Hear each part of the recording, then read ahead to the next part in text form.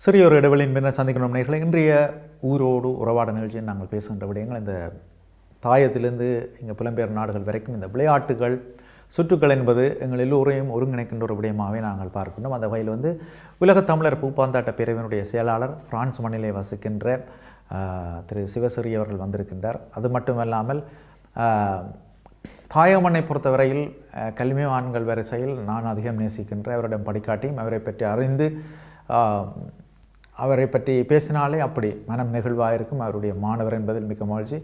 வணக்கம் அண்ணா. வண- வணக்கம். வணக்கம். அது இந்த புலம்பெயர்ந்து நாங்கள் வந்ததன் பின்னர் விளையாட்டுத்துறை சார்ந்து கலைத்துறை சார்ந்து எங்களுக்கு மிகப்பெரிய தளம் தந்த ஒரு நாடு வந்து இந்த பிரான்ஸ் நாடு. அங்கிருந்து வந்திருக்கின்றீர்கள். நீங்கள் ஹார்ட்லி கல்லூரியுடைய பழைய மாணவன் யாழ் யாழ் பல்கலைக்கழகத்துடைய பழைய மாணவர். அதிலும் சிறப்பாக வந்து மதிப்புக்குரிய மாமனிதர் பேராசிரியர் துர்ராஜா அவர்களுடைய மாணவன். சொல்லுங்கள் அதை அவரிடம் படித்ததை நீங்கள் வாழ்நாளில் எப்படி பார்க்கிறீர்கள் அது ஒரு பெரிய கொடை உண்மையில். அவருடைய இறுதி காலங்களில் கூட அந்த ஒரு சந்தர்ப்பம் எங்களுக்கு கிடைச்சிட்டு தான் உண்மையில் ஒரு, மன நெகிழ்வு. மற்றவை கிடைக்கலையே என்றால் அவர் உண்மையில் இன்னும் கா இருக்கையிலே என்று தான் இந்த ஒரு இழப்பு. ஆமாம். இருந்திருந்தால் எங்களுடைய அந்த யாழ் மண்ணினுடைய ஒரு வளம் இன்னும் வளம் பெற்றிருக்கும் தான் என்னுடைய. பெற்றிருக்கு அவர் ஒரு மிகப்பெரிய முன்னுதாரணமானவர் சார். ஆமாம் எளிமையான மனிதரா? அந்த எளி- எளிமைக்கு இதுக்கு விட நாங்கள் இலக்கணம் கொடுக்க இயலாது அது சொல்வார்கள் யாழ் பல்கலைக்கழகம் இதுவரையில் சந்திக்காத இனியும் சந்திக்காத ஒரே ஒரு துணை வந்தர் என்று சொன்னால் அது துறை மாசறேன் நான் நினைக்கல அப்படி ஒரு ஆளு நாங்கள் எங்களை எங்களை கிடைக்க மாட்டோம் சார் கிடைக்க மாட்டோம் சரி சொல்லுங்கள். இந்த நீங்கள் ஹார்ட்லி கல்லூரியில் வந்து உடற்பயிற்சி அதாவது பிடிஎம் அந்த விளையாட்டுத்துறை சார்ந்த ஆசிரியரும் பணியாற்றியிருக்கின்றீர்கள். ஹார்ட்லியிலும் பணியாற்றியிருக்கின்றீர்கள் பிறகு எதற்காக நீங்கள் பிரான்ஸுக்கான ஒரு நகர்வு ஏன் அதை ஏற்பட்டது? உண்மையில தொண்ணூற்றி அஞ்சாம் ஆண்டு இடப்பெயர்வு தான். எங்களுடைய தலைவிதியே மாற்றி என்று சொல்லலாம். மாற்றி அமைச்சா.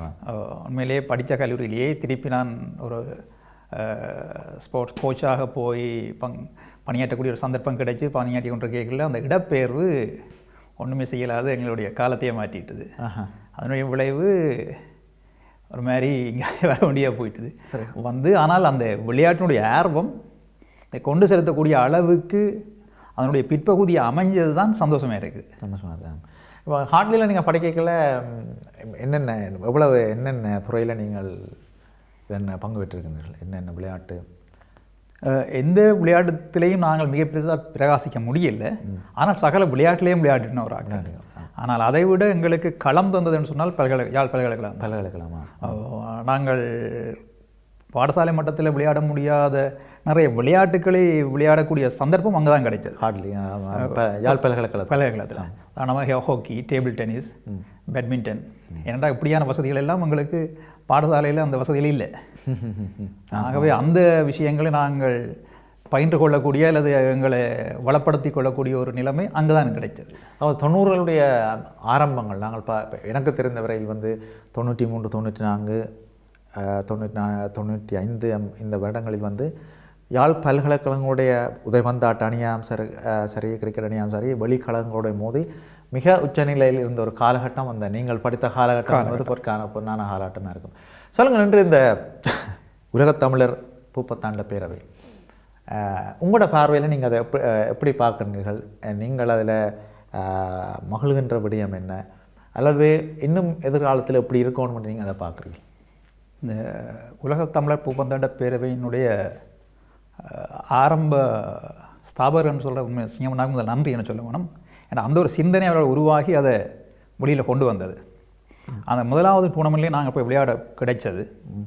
அதன் பிறகு அந்த உருவாக்கப்பட்ட அந்த நிர்வாக கட்டமைப்பு. அதன் அடிப்படையில் நான் அவருடைய சேர்ந்து எல்லாரோடையும் சேர்ந்து இந்த துறை நோக்கி செயலாற்ற சந்தர்ப்பம் கிடைத்தது. உண்மையிலேயே மிகப்பெரிய வர வரப்பிரசாதம் தான் நான் சொல்லுவேன் ஒன்று நாங்கள் ஒரு கொஞ்ச நாடுகளுக்கு மட்டும் நிற்காமல் அது வி விரிவடைந்து விரிவடைந்து விரிவடைந்து போய்கொண்டு கேட்கல அதனுடைய அந்த அந்த அடைவு என்றது மிகப்பெரிய சந்தர்ப்பத்திற்கு நாங்கள் நினைக்கவே நினைச்சு பார்க்க முடியாத அளவுக்கு அதனுடைய ஆதரவு. ஒவ்வொரு உள்வருகையும். அது சரியாக இன்னும் நான் நினைச்ச விட வளர்ச்சி அடைஞ்சுட்டு போகுது. ஏன்னா நாங்கள் ஐந்து நாடுகள் பங்கு பெற்ற ஒரு நா நிகழ்வு ரெண்டாயிரத்தி பதிமூணாம் நடக்க இந்த பதினேழு நாடுகள் இன்றைக்கு.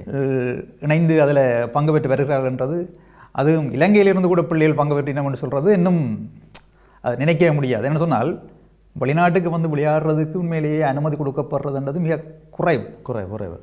ஜெர்மனில் நடந்த போட்டிக்கு பதிமூன்று பேர் வீரர்கள் வந்து பங்கு பெற்றிருந்தார்கள். இலங்கையிலிருந்து. அப்போ அது WGTP கிடைத்த அங்கீகாரமும் மற்றது விளையாட்டு வீரர்கள் எல்லாரும் WGTP வைத்த நம்பிக்கையும் தான். நம்பிக்கை தான்.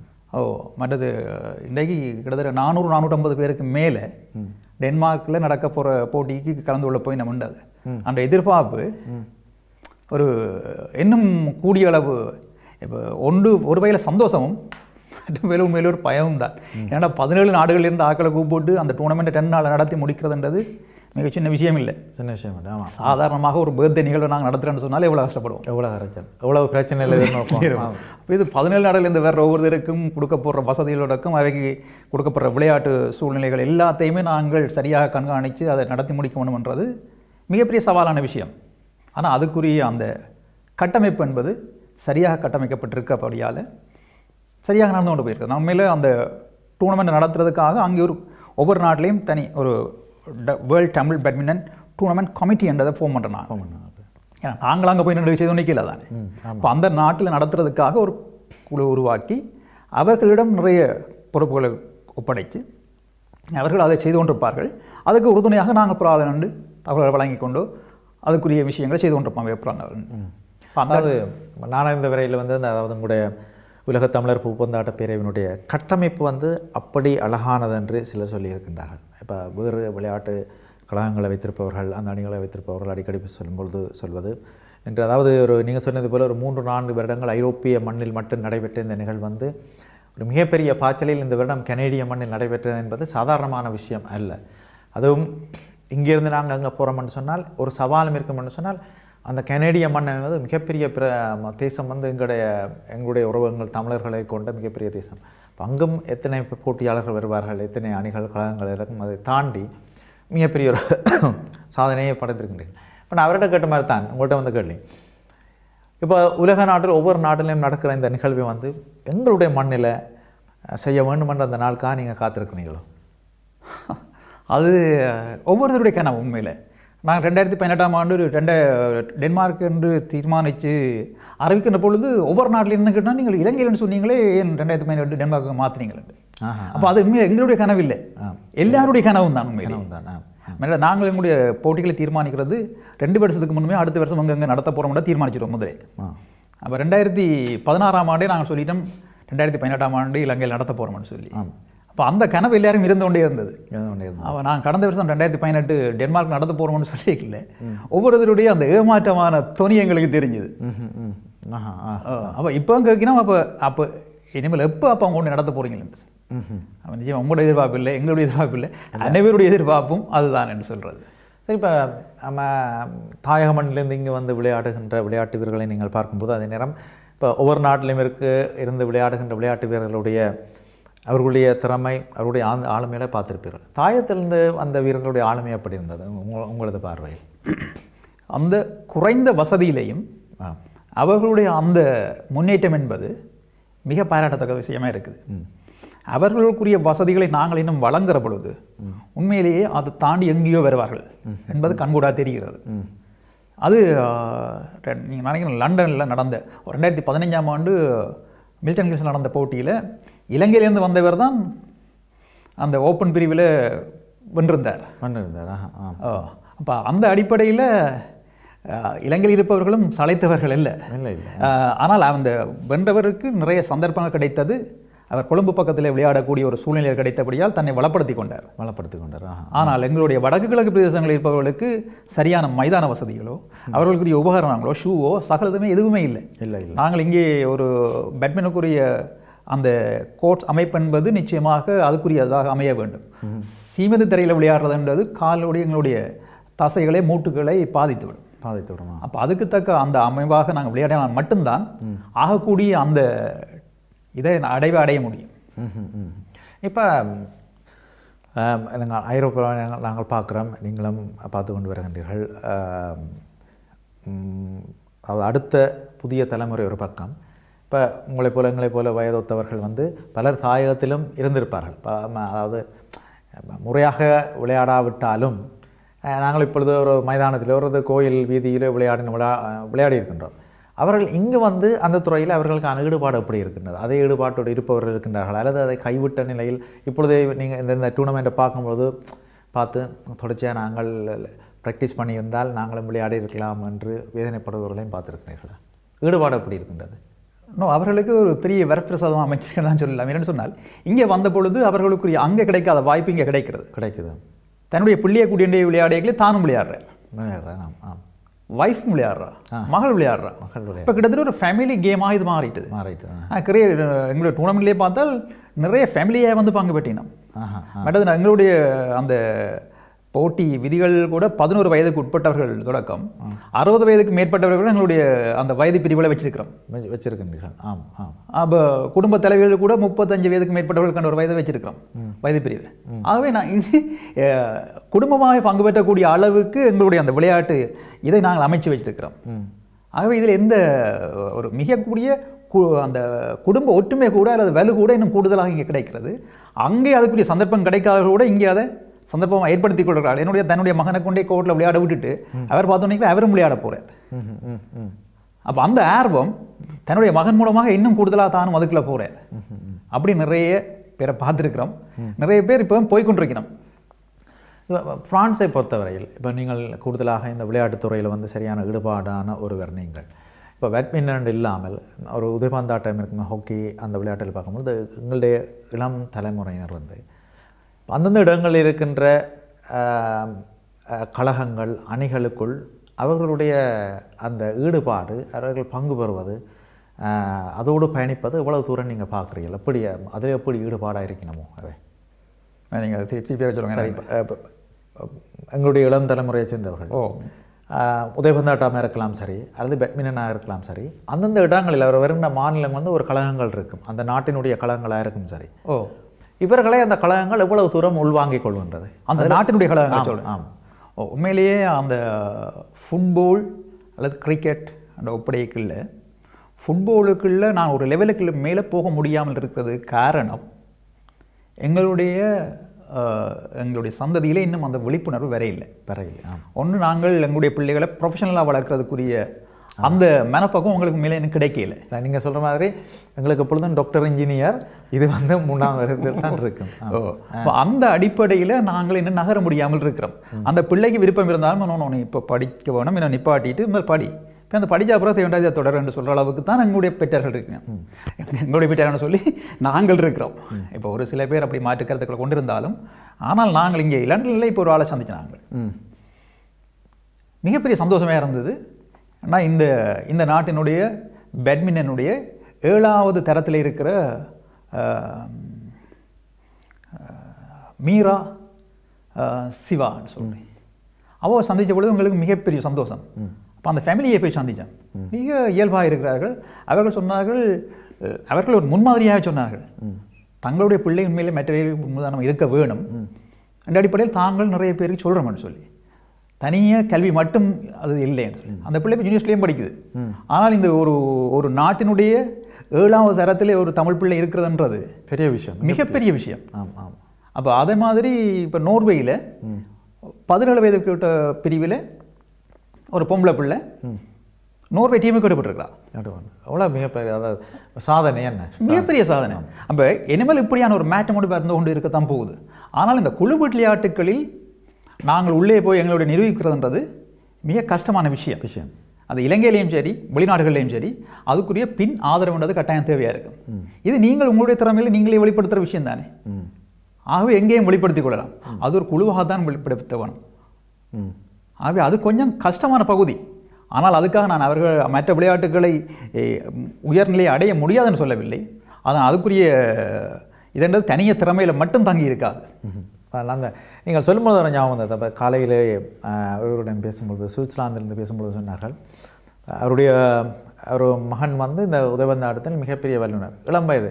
அது ஒரு பதினெட்டு இருபது வயது. படித்து கொண்டும் இருக்கின்றார் உதயபந்தாட்டம் அதாவது சுவிட்சர்லாந்து அந்த கூடுதலாக அந்த நாட்டவருடைய அணிகளிலே விளையாடுகின்ற ஒரு வீரர். விடிந்தா பொழுது பட்டால் அவர் ஃபுட்பால் தான். அப்போ சில கழகங்களை வந்து அவர்களை அவரை வந்து கூட்டி அழைத்து செல்வார்கள்.